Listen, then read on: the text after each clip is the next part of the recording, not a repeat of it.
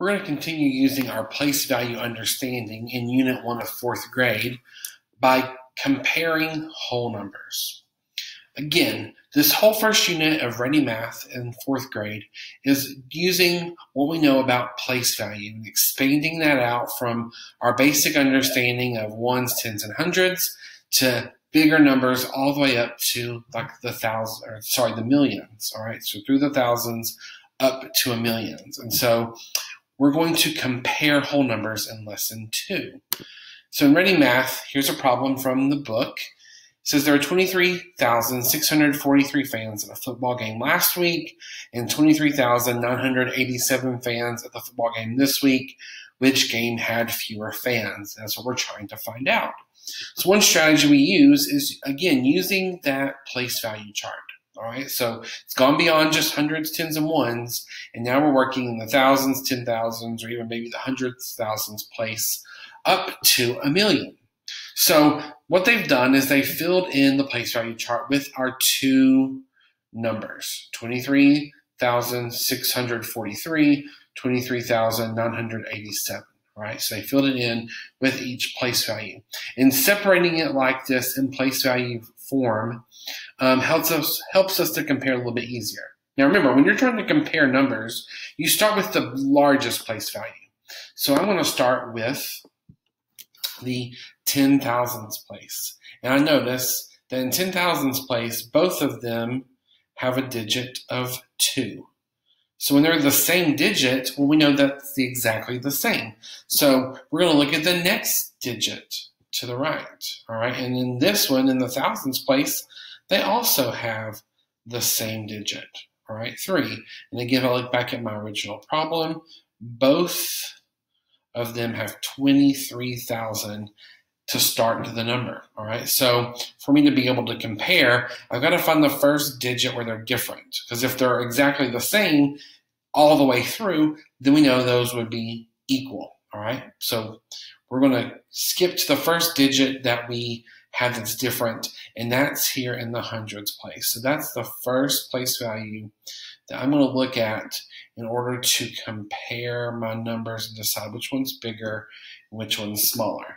So then if I think about just the hundreds place, 600 and 900, or if I think back to my place value blocks, if I have six of the square blocks representing 600 or 9 of the square blocks representing 900, then I know that 900 is more than 600. So therefore, this number right here on the bottom is going to be, I'm going to put a little L here, that's our larger number, and then this is our smaller number, all right, 23 sorry, yeah, 23,643 is smaller than 23,987.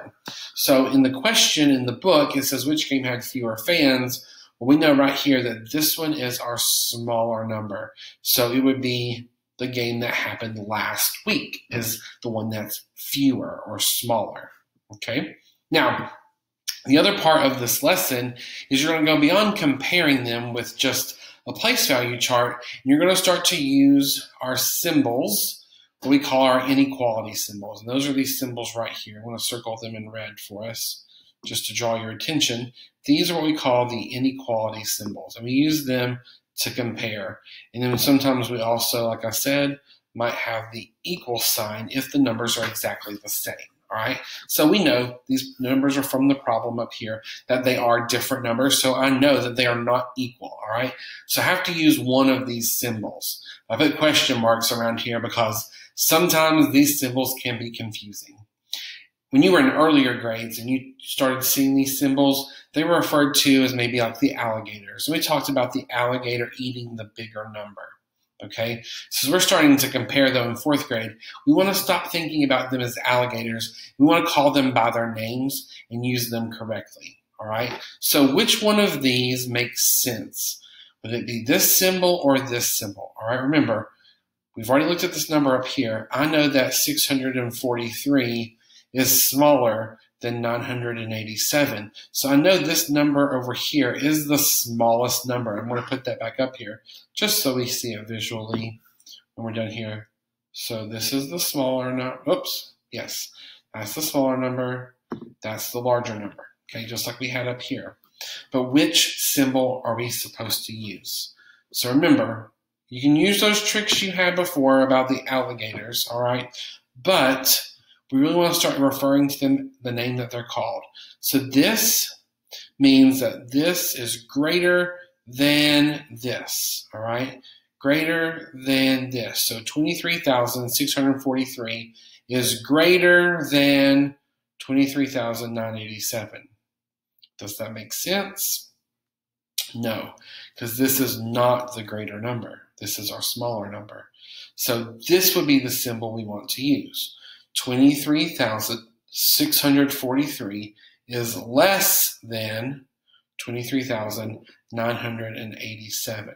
Okay, so remember, we're going to start using the names officially, all right, and not thinking about alligators, but thinking about what this symbol is called, and that is the less than symbol that we want to use in this example. 23,643 is less than 23,987. So that is the correct way to use our inequality symbol, the less than symbol. Okay, remember up here, this would be the greater than symbol. So this area here is bigger than this area over here, whereas this area here is smaller than this area right here. So this is the less than symbol.